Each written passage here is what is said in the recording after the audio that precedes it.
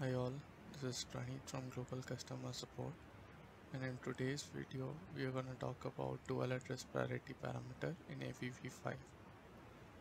In today's agenda we'll talk about what is dual address priority and we'll follow that with a demo. Dual addresses are the address that contain both the street address and the delivery service address. We can configure the dual address priority attribute to specify which type of address the AV will validate. There are three options. The first by default is postal admin. When we configure this option, the AV transformation validates the address based on local postal rules. The second is street.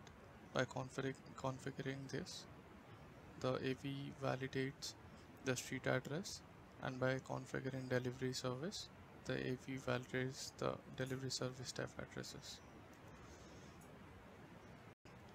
Now we'll go towards the demonstration. So this is our source data. In address line 1 we have the street information and in address line 2 we have the delivery service information. Now we'll configure the dual address priority parameter. We can find that in the AV validator advanced tab we'll first set it to delivery service. And now we'll run a data viewer.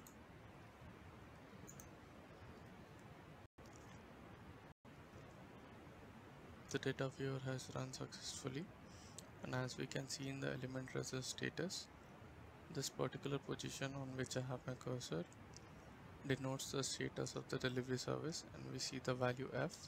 That means as per our configuration the PO box has been provided priority. Now we'll change the configuration to street.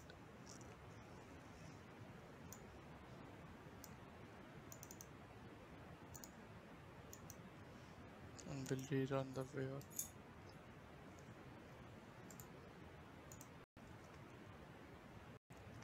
Here in the result we can see the seventh position. It denotes E that means this time it has considered the street